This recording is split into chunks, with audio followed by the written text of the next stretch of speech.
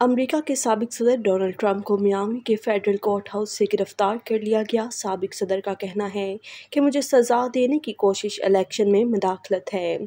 आज अदालती कार्रवाई के दौरान डिप्टी मार्शल्स ने सबक सदर को गिरफ़्तार किया और उनके फिंगरप्रिंट्स लिए वासिया रहे कि डोनाल्ड ट्रंप को खुफिया दस्तावेजात केस में गिरफ़्तार किया गया है। चंद रोज़ कबल उन पर दूसरी बार फर्द जुर्म आयद की गई थी।